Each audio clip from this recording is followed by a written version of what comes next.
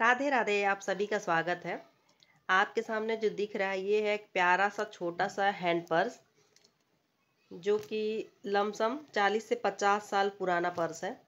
हाथ का बनाया हुआ, जो कि मुझे मेरी नानी ने दिया था। और मैं इसे बहुत ही संभाल के रखी हूँ, यूज़ नहीं करती हूँ, बस ऐसे ही इसमें कुछ छोटी मोटी चीज़ें रख के, इसको अलमारी में ऐसे मैंने टांग दिया था। तो इसीलिए अभी बहुत ज़्यादा ख़राब नहीं हुआ, क्योंकि अगर यूज़ करती तो शायद टूट जाता बट रखे रखे। थोड़ा बहुत ही ये आप देख सकते हो, ये थोड़ा बहुत एक जगह, दो जगह जो है ना, थोड़ा तार निकल गया है। ये जो बिनावट है ना, इसका इतना प्यारा है, और सबसे बड़ी बात तो ये है कि इसमें जो तार लगे हुए हैं, इसमें जो मोती लगे, मोती का कलर नहीं गया इतने सालों बाद। और ये जो तार है ना, आप देखिए, मैं ऐसे कर रही हूँ। फिर भी इस पर कोई असर नहीं पड़ रहा है। और अभी अगर आज के टाइम आप खरीद के ऐसे तारों को कुछ बनाओ, अगर आप ऐसे क्रश कर दो तो पक्का वो टूट जाता है। तो आप देख सकते हो इसकी क्वालिटी इतनी बेटर है पहले की चीज़ों की, कि आपको क्या बताऊँ। मोतियों में देखिए अभी भी थोड़ी बहुत चमक है। थोड़ी सी इसकी चमक गई है, कलर गया है, बाकी ये बहुत ही प्यारा है। और इसीलिए मैंने इसको रखा है, यूज़ नहीं करती हूँ, बस रखा है। तो मैंने सोचा आप लोगों को शेयर करूँ। और ये दूसरा हैंड पर्स जो है, ये भी लमसम लमसम तीस, चालीस या पचास साल पुराना ही होगा।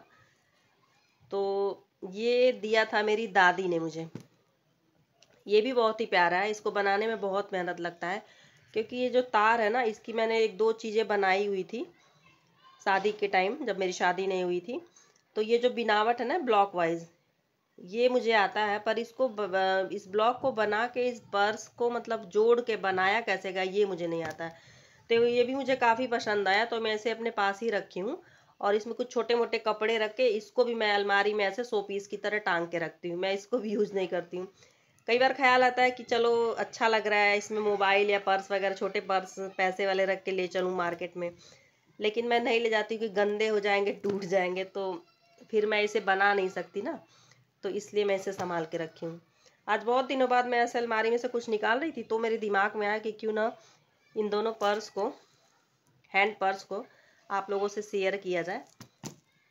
अगर आप लोगों के घर में आपकी दादी या फिर नानी, मम्मी किसी को भी बनाने आता हो तो आप उनसे ज़रूर बनवाइएगा। ये बहुत ही प्यारा लगता है और आप इसे लेके निकलोगे ना तो सब लोग देखेंगे कि हाँ कोई चीज़ है। यूनिक चीज़ है और ऐसे चीज़ें जो ना हैंड वर्क जो होती हैं, वो मार्केट में काफ़ी महँगे मिलते हैं, जहाँ पे हाथों के काम वाले वर्क मिलते हैं। बहुत सारे ऐसे यहाँ पे भी दुकानें लगती हैं, जो हैंड वर्क से बेचते हैं। तो काफ़ी कास्टली मिलता है। और अगर आपके पास आपके घर में हो तो उन्हें संभाल के रखें, ऐसे वेस्ट ना करें।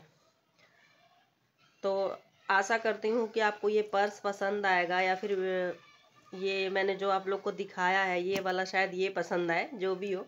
आप मुझे कमेंट में ज़रूर बताइए। और ये वीडियो कैसा लगा वो भी बताइए।